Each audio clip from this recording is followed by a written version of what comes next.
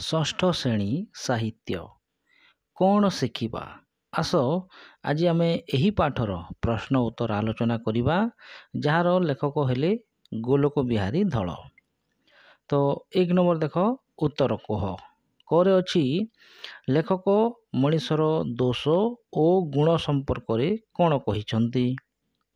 ତ ଲେଖିବ ଯେ ଦୋଷ ଗୁଣ ତ ସମସ୍ତଙ୍କର ଅଛି କିନ୍ତୁ ଆମର କଥା ହେଉଛି ଦୋଷକୁ ଛାଡ଼ି ଗୁଣ ଶିଖିବା। ଖ ନମ୍ବର। ଲେଖକଙ୍କ ମତରେ ଆମେରିକାରେ ସବୁଠୁ ଭଲ କଥାଟି କ'ଣ? ତ ଲେଖକଙ୍କ ମତରେ ଆମେରିକାର ସବୁଠୁ ଭଲ କଥାଟି ହେଲା ଶାରୀରିକ ପରିଶ୍ରମର ମୂଲ୍ୟ। ଗ ନମ୍ବର। ଆମେରିକୀୟମାନଙ୍କର କେଉଁ ଗୁଣଟି ଦେଖିଲେ ଆଶ୍ଚର୍ଯ୍ୟ ଲାଗେ? ତ ଲେଖିବ ଯେ ପରିଶ୍ରମକୁ ସମ୍ମାନ ଦେଖାଇବା ଲାଗି ଆମେରିକୀୟମାନେ କେମିତି ଶିଖିଛନ୍ତି ତାହା ଦେଖିଲେ ଆଶ୍ଚର୍ଯ୍ୟ ଲାଗେ। ଘ ନମ୍ବର। ଲେଖକ ବନ୍ଧୁଙ୍କୁ ଦେଖି ସେ କିଏ ବୋଲି ଭାବିଲେ? ତ ଲେଖକ କୋଲଗେଟ୍ ବିଶ୍ୱବିଦ୍ୟାଳୟର ଇଂରାଜୀ ଅଧ୍ୟାପକଙ୍କୁ ଦେଖି ଭାବିଲେ ସାଇ ପଡ଼ିଶାର କେହି ଜଣେ ଚିହ୍ନା କୁଲି ହୋଇଥିବ।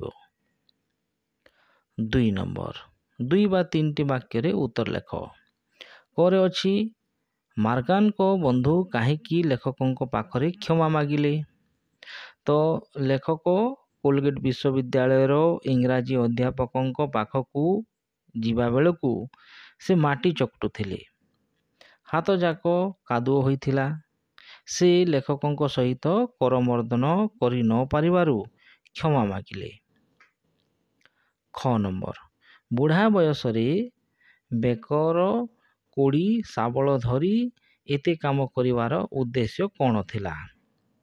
ତ ବୁଢ଼ା ବୟସରେ ବେକର କୋଡ଼ି ଶାବଳ ଧରି କାମ କରିବାର ଉଦ୍ଦେଶ୍ୟ ହେଲା ଜୀବନକୁ ଉପଭୋଗ କରିବା। କାମ ବ୍ୟତିରେକ ଜୀବନରେ ସୁଖ କଳ୍ପନା ଅସମ୍ଭବ। କାମ ଭିତରେ ଆନନ୍ଦ ଲୁକାୟିତ ହୋଇ ରହିଛି। ଗ ନମ୍ବର। ଆମେରିକାର ଲୋକଙ୍କଠାରୁ ଶିଖିବା ଭଳି ସବୁଠୁ ବଡ଼ କଥାଟି କ'ଣ? ତ ଆମେରିକା ଲୋକଙ୍କଠାରୁ ଶିଖିବା ଭଳି ସବୁଠୁ ବଡ଼ କଥାଟି ହେଲା ଅନ୍ୟର ପ୍ରଶଂସା କରିବା। ଯିଏ ଯାହା କରୁ ପଛେ ଲୋକେ ତା'ର ପ୍ରଶଂସା କରନ୍ତି। ଯିଏ ଘାସ କାଟ ଯିଏ ଘାସ କାଟେ ଲୋକେ ତାକୁ ବଢ଼ିଆ ଘାସ କଟାଳି ବୋଲି କହି ପ୍ରଶଂସା କରନ୍ତି। ଘ ନମ୍ବର ଆମେରିକାର ଲୋକେ କ'ଣ ପାଇଁ ଅଧିକ ବ୍ୟସ୍ତ ତ ଆନ୍ତର୍ଜାତିକ ଭାବ ବିନିମୟ ଲାଗି ଆମେରିକୀୟମାନେ ଖୁବ୍ ବ୍ୟସ୍ତ ବିଶ୍ୱ ଶାସନ ଓ ବିଶ୍ୱ ମୈତ୍ରୀ ପାଇଁ ସେମାନେ ଖୁବ୍ ବ୍ୟାକୁଳ ଓ ନମ୍ବର ଲେଖକଙ୍କ ମତରେ ଆମେ ଦେଶ ଓ ଜାତି ପାଇଁ କ'ଣ କରିବା ଉଚିତ ତ ଲେଖକଙ୍କ ମତରେ ଆମେ ଦେଶ ଓ ଜାତି ପାଇଁ ମୁକ୍ତି ପଥ ଖୋଜିବା ମାଛି ନ ହୋଇ ମହୁମାଛି ହେବା। ଘାରେ ନ ବସି ଫୁଲରେ ବସିବା। ଉଚ୍ଚ ମନା ହେବା। ତିନି ନମ୍ବର। ସରଳ ଭାଷାରେ ବୁଝାଇ ଲେଖ। କରେ ଅଛି ଶିକ୍ଷିତ ବଡ଼ ଲୋକ ଶାରୀରିକ ପରିଶ୍ରମର ମର୍ଯ୍ୟାଦା ନ ବୁଝିଲା ପର୍ଯ୍ୟନ୍ତ କେବଳ ଅଧା ପେଟିଆ ଦୁର୍ବଳ ମୂଲିଆ ହାତରେ ଦେଶ ଉଠି ପାରିବ ନାହିଁ। ତ ଏହି ସରଳାର୍ଥକୁ ଲେଖିବ ଶିକ୍ଷିତ ବଡ଼ ଲୋକ ଡଟ୍ ଡଟ୍ ଡଟ୍ ଡଟ୍ ଉଠି ପାରିବ ନାହିଁ ତାପରେ ଲେଖିବ ଯେ ପଠିତ ଗଦ୍ୟାଂଶଟି ଗୋଲୋକ ବିହାରୀ ଧଳଙ୍କ ରଚିତ କ'ଣ ଶିଖିବା ପ୍ରବନ୍ଧରୁ ଗୃହୀତ ଏଠାରେ ଲେଖକ ଶିକ୍ଷିତ ଲୋକମାନେ କିପରି କର୍ମ ପ୍ରତି ବୀତସ୍ପୃହ ହୋଇଥାନ୍ତି ତାହା ବର୍ଣ୍ଣନା କରିଛନ୍ତି ତାପରେ ଲେଖିବ ଆମେରିକୀୟମାନେ ଖୁବ୍ ପରିଶ୍ରମୀ ସେମାନେ ପରିଶ୍ରମକୁ ଖୁବ୍ ସମ୍ମାନ ଦିଅନ୍ତି। କାମ କରିବାକୁ ଲଜ୍ଜାବୋଧ କରନ୍ତି ନାହିଁ। ଏହି ପ୍ରସଙ୍ଗରେ ଲେଖକ ଏକ ଉଦାହରଣ ଦେଇଛନ୍ତି। ଦିନେ କୋଲଗେଟ୍ ବିଶ୍ୱବିଦ୍ୟାଳୟର ଇଂରାଜୀ ପ୍ରଫେସର ମାଟି ଚକୁଟୁଥିବାର ଲେଖକ ଦେଖିଥିଲେ। ସେହିପରି ଗ୍ରୀଷ୍ମ ଛୁଟିରେ କେହି କେହି ଶିକ୍ଷକ ମଧ୍ୟ ଦୋକାନରେ ପରିବା ବିକନ୍ତି କିମ୍ବା ନିଜ କ୍ଷେତରେ ଆଳୁ ଖୋଳନ୍ତି। ପରନ୍ତୁ ଆମ ଦେଶରେ ଦି ଅକ୍ଷର ପଢ଼ିଥିବା ଲୋକ ମାଟିକୁ ଭୁଲି ଯାଆନ୍ତି ପରିଶ୍ରମ କରିବାକୁ ଘୃଣା କରନ୍ତି। ଆମ ଦେଶର ଶିକ୍ଷିତ ବଡ଼ ଲୋକମାନେ ଯେ ପର୍ଯ୍ୟନ୍ତ ପରିଶ୍ରମର ମୂଲ୍ୟ ବୁଝି ନାହାନ୍ତି ସେ ପର୍ଯ୍ୟନ୍ତ ଏ ଦେଶ ଉଠିପାରିବ ନାହିଁ। କେବଳ ଅଧା ପେଟିଆ ଦୁର୍ବଳ ମୂଲିଆମାନେ ଏ ଦେଶକୁ ପ୍ରଗତି ପଥରେ ଆଗେଇ ନେଇପାରିବେ ନାହିଁ। ଅର୍ଥାତ୍ ଆମ ଦେଶର ଶିକ୍ଷିତ ଲୋକମାନେ ପରିଶ୍ରମର ମହତ୍ତ୍ୱକୁ ବୁଝିଲେ ଦେଶର ଉନ୍ନତି ହେବ ଶେଷରେ ଲେଖିବ ବାସ୍ତବରେ ଲେଖକଙ୍କର ଏହି ଉକ୍ତି ଯଥାର୍ଥ ଅଟେ ଖ ନମ୍ବର କାମ ବ୍ୟତିରେକେ ଆମେରିକାନ ଜୀବନରେ ସୁଖ କଳ୍ପନା ଅସମ୍ଭବ ତ ଏହାକୁ ଲେଖିବ କାମ ବ୍ୟତିରେକେ dot dot dot dot dot dot ଅସମ୍ଭବ ସଂଶିତ ଗଦ୍ୟାଂଶଟି ଷଷ୍ଠ ଶ୍ରେଣୀରେ ପଠିତ। ଆମ ସାହିତ୍ୟ ବହିର କ'ଣ ଶିଖିବା ପ୍ରବନ୍ଧରୁ ଉଦ୍ଧୃତ? ଏଠାରେ ଲେଖକ ଗୋଲକ ବିହାରୀ ଧଳ ଆମେରିକୀୟମାନେ ଜୀବନରେ କାମ ବ୍ୟତିରେକେ କିପରି ଅନ୍ୟ କିଛି ସୁଖ କିମ୍ବା ଆନନ୍ଦ ଆଶା କରନ୍ତି ନାହିଁ ତାହା ଜଣାଇଛନ୍ତି। ମିଷ୍ଟର ବେକର ଆମେରିକାର ଜଣେ ଅବସରପ୍ରାପ୍ତ ଇଞ୍ଜିନିୟର। ବୁଢ଼ା ବୟସରେ କୁଡ଼ି ଶାବଳ ଧରି ପର୍ବତ ଭାଙ୍ଗି ପଡ଼ିଆ କରି ସେଠାରେ ଘର କରିବା ତାଙ୍କର ଲକ୍ଷ୍ୟ। ଏ ବୟସରେ କୁଡ଼ି ଶାବଳର ସଉକ ଦେଖି ଲେଖକ ଆଶ୍ଚର୍ଯ୍ୟ ହୋଇଛନ୍ତି ଓ ଏପରି ସଉକ ବିଷୟରେ ପଚାରିଛନ୍ତି। ଲେଖକଙ୍କୁ ଉତ୍ତର ଦେବାକୁ ଯାଇ ବେକର କହିଛନ୍ତି ଆମେରିକା ଜୀବନର ମୂଳ ଦର୍ଶନ ହେଲା କାମରୁ ଆନନ୍ଦ ନେବା। ଜୀବନକୁ ଉପଭୋଗ କରିବା ପାଇଁ ସେ କାମ କରୁଛନ୍ତି। କାମ ଭିତରେ ଆନନ୍ଦ ଲୁକାୟିତ ହୋଇ ରହିଛି।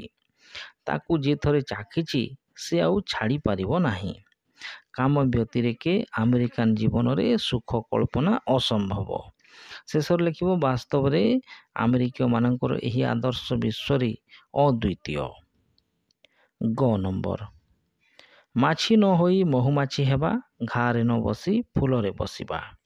ତ ଏହାକୁ ଲେଖିବ ମାଛି ନ ହୋଇ ଡଟ୍ ଡଟ୍ ଡଟ୍ ଡଟ୍ ଫୁଲରେ ବସିବା। ଦତ୍ତ ଗଦ୍ୟାଂଶଟି ପଠିତ ଆମ ସାହିତ୍ୟ ବହିର ଗୋଲକ ବିହାରୀ ଧଳଙ୍କ ଲିଖିତ କ'ଣ ଶିଖିବା ପ୍ରବନ୍ଧରୁ ଆନିତ ଏଠାରେ ଲେଖକ ଆମ ଦେଶର ଅଧିବାସୀଙ୍କର କାର୍ଯ୍ୟଧାରା ସମ୍ପର୍କରେ ଆଲୋକପାତ କରିଛନ୍ତି। ଆମେରିକୀୟମାନେ ଅନ୍ୟର ପ୍ରଶଂସକ। ଯିଏ ଯାହା କରୁ ପଛେ ଲୋକେ ତାକୁ ପ୍ରଶଂସା କରନ୍ତି। ପ୍ରତ୍ୟେକ କାର୍ଯ୍ୟର ମୂଲ୍ୟ ଅଛି। ତେଣୁ ସେମାନେ ଘାସ କାଟୁଥିବା ଲୋକକୁ ବି ପ୍ରଶଂସା କରନ୍ତି। ଆମ ଦେଶ ପରି ନିରୁତ୍ସାହିତ କରୁଥିବା ଲୋକଙ୍କ ସଂଖ୍ୟା ସେଠି ଖୁବ୍ ନଗଣ୍ୟ। ସେମାନେ ଜାଣିଛନ୍ତି ପରିଶ୍ରମୀକୁ ପ୍ରଶଂସା କଲେ ସେ ଅଧିକ କାମ କରିବ। ତେଣୁ ସେମାନଙ୍କ ପରି ଆମ୍ଭେମାନେ ମଧ୍ୟ ଅନ୍ୟର ପ୍ରଶଂସା କରିବାକୁ ଲେଖକ ପରାମର୍ଶ ଦେଇଛନ୍ତି। ଏହି ପ୍ରସଙ୍ଗରେ ସେ ମାଛି ଓ ମହୁମାଛିର ଦୃଷ୍ଟାନ୍ତ ଦେଇଛନ୍ତି। ମାଛି ଘାରେ ବସେ କିନ୍ତୁ ମହୁମାଛି ଫୁଲରେ ବସି ମଧୁ ସଂଗ୍ରହ କରେ। ଠିକ୍ ସେହିପରି ହୀନମନା ଅନ୍ୟର ଦୋଷ ଦୁର୍ବଳତା ଖୋଜି ବସେ କିନ୍ତୁ ଉଚ୍ଚମନା ଅନ୍ୟର ପ୍ରଶଂସା କରେ। ଅନ୍ୟଠାରେ ଭଲ ଖୋଜି ବସେ ତେଣୁ ଆମ୍ଭେମାନେ ଆମେରିକୀୟମାନଙ୍କ ଠାରୁ ଭଲ ଗୁଣ ଶିକ୍ଷା କରି ଦେଶ ଓ ଜାତିର ମୁକ୍ତି ପଥ ଖୋଜିବା ଶେଷରେ ଲେଖିବ ଯେ ବାସ୍ତବରେ ଲେଖକଙ୍କର ଚିନ୍ତାଧାରା ପ୍ରଶଂସନୀୟ ଅଟେ ଚାରି ନମ୍ବର ଆବଶ୍ୟକ ସ୍ଥଳେ ବିରାମ ଚିହ୍ନ ଦିଅ ତ ସେହି ମୂଲିଆମାନଙ୍କ ଭିତରୁ ଜଣେ ପାଟି କରି ଅଭିବାଦନ ଜଣାଉଛି ହାଏ ମର୍ଗାନ ହାଉ ଆର୍ ୟୁ ଭାବିଲି ସାହି ପଡ଼ିଶାର କେହି ଜଣେ ଚିହ୍ନା କୁଲି ହୋଇଥିବ। ମାତ୍ର ନିକଟକୁ ଗଲାରୁ ପ୍ରଫେସର ମର୍ଗାନ ତାଙ୍କୁ କୋଲଗେଟ୍ ବିଶ୍ୱବିଦ୍ୟାଳୟର ଇଂରାଜୀ ଅଧ୍ୟାପକ ବୋଲି ମୋ ସହିତ ପରିଚିତ କରାଇଦେଲେ। ତ ଏହାକୁ ବହି ଦେଖିକିନା ବିରାମ ଚିହ୍ନ ସବୁ ଦେବ। ଖ ନମ୍ବର। ମଣିଷ ଜୀବନରେ ଯେତେ କାମ ଅଛି ଘାସ କଟାରୁ ଘୋଡ଼ା ଚଢ଼ା ପର୍ଯ୍ୟନ୍ତ ସବୁ ବିଜ୍ଞାନ ଛାଞ୍ଚରେ ପକାଇ ଦିଆଯାଇଛି। ପ୍ରତ୍ୟେକ କାର୍ଯ୍ୟର ମୂଲ୍ୟ ଅଛି। ତେଣୁ ଯିଏ ଘାସ କାଟୁଛି ଲୋକେ ତାକୁ ବି ପ୍ରଶଂସା କରି କହନ୍ତି ସେ ଗୋଟିଏ ବଢ଼ିଆ ଘାସ କଟାଳି। ଏହାକୁ ଲେଖିବ ଯେ ମଣିଷ ଜୀବନରେ ଯେତେ କାମ ଅଛି ଘାସ କଟାରୁ ଘୋଡ଼ା ଚଢ଼ା ପର୍ଯ୍ୟନ୍ତ ସବୁ ବିଜ୍ଞାନ ଛାଞ୍ଚରେ ପକାଇ ଦିଆଯାଇଛି। ପ୍ରତ୍ୟେକ କାର୍ଯ୍ୟର ମୂଲ୍ୟ ଅଛି। ତେଣୁ ଯିଏ ଘାସ କାଟୁଛି ଲୋକେ ତାକୁ ବି ପ୍ରଶଂସା କରି କହନ୍ତି ସେ ଗୋଟିଏ ବଢ଼ିଆ ଘାସ କଟାଳି। ତ ଏଇଟା ମଧ୍ୟ ବହିରୁ ଦେଖି ଲେଖିବ। ତାପରେ ପାଞ୍ଚ ନମ୍ବର ଦେଖ କ ସ୍ତମ୍ଭରେ ଦିଆଯାଇଥିବା ଶବ୍ଦ ସହିତ କ ସ୍ତମ୍ଭରେ ଥିବା ସମ୍ପର୍କିତ ଶବ୍ଦକୁ ମିଳାଇ ନୂଆ ତିଆରି କର। ତ କ ସ୍ତମ୍ଭରେ ଅଛି ଶାରୀରିକ ତ କ ସ୍ତମ୍ଭର ହେବ ପରିଶ୍ରମ। ସେହିପରି କ ସ୍ତମ୍ଭର ବୁଢ଼ା ଖ ସ୍ତମ୍ଭର ବୟସ କ ସ୍ତମ୍ଭର ଧନ ଖ ସ୍ତମ୍ଭର ସମ୍ପତ୍ତି ଆଉ କ ସ୍ତମ୍ଭର ଦାୟିତ୍ୱ ଖ ସ୍ତମ୍ଭର ଜ୍ଞାନ ଛଅ ନମ୍ବର ସାଇ ପଡ଼ିଶା ଏହିପରି ଆଉ ତିନିଟି ଯୁଗ୍ମ ଶବ୍ଦ ପଠିତାଂଶରୁ ବାଛି ଲେଖ। ତ ଏହି ପାଠରେ ଆଉ କ'ଣ କ'ଣ ଅଛି? ଭାବଭଙ୍ଗୀ ଅଳ୍ପ ବହୁତ ଟଙ୍କା ସୁନା ଏହିପରି ଲେଖିବ। ସାତ ନମ୍ବର ନିମ୍ନଲିଖିତ ବାକ୍ୟାଂଶକୁ ବ୍ୟବହାର କରି ବାକ୍ୟ ଗଠନ କର। କଣ୍ଟା ବାଡ଼ରେ ଲୁଗା ପକାଇବା। ପର ଉପରକୁ କାଦୁଅ ଫିଙ୍ଗିବା।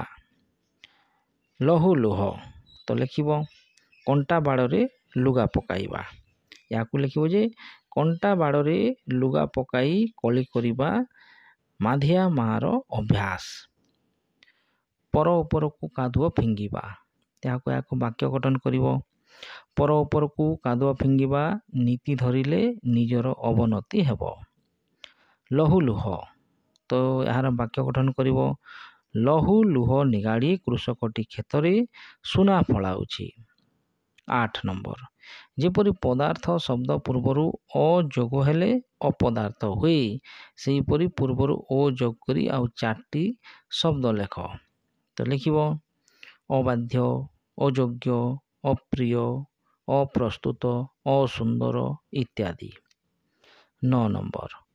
ପଠିତ ପ୍ରବନ୍ଧରୁ ଉପଯୁକ୍ତ ଶବ୍ଦ ବାଛି ଶୂନ୍ୟସ୍ଥାନ ପୂରଣ କର ତ ଲେଖିବ ଉଚ୍ଚମନା ଉଚ୍ଚେ ଅମୃତ ଲଭଇ ନିଚ ମନା ଲଭେ ବିଷ ସେପରି ଖ ନମ୍ବର ଲେଖିବ କାମ ହିଁ ଆମେରିକା ଜୀବନର ମୂଳ ମନ୍ତ୍ର ଆଉ ଗ ନମ୍ବର ଲେଖିବ ଯେ ବେଳ ଆସିଛି ମାଛି ନ ହୋଇ ମହୁମାଛି ହେବା ଘାରେ ନ ବସି ଫୁଲରେ ବସିବା ଦଶ ନମ୍ବର ଜ୍ଞାନ ସହିତ ସାପେକ୍ଷ ମିଶି ନୂତନ ଶବ୍ଦଟି ହୋଇଛି ଜ୍ଞାନ ସାପେକ୍ଷ ସେହିପରି ସାପେକ୍ଷ ବ୍ୟବହାର କରି ଆଉ ଦୁଇଟି ନୂଆ ଶବ୍ଦ ଲେଖ ତ ଲେଖିବ କାର୍ଯ୍ୟ ସାପେକ୍ଷ ବ୍ୟୟ ସାପେକ୍ଷ ଏହିପରି ଭାବରେ ସବୁ ପ୍ରଶ୍ନର ଉତ୍ତର ଲେଖିବ ଧନ୍ୟବାଦ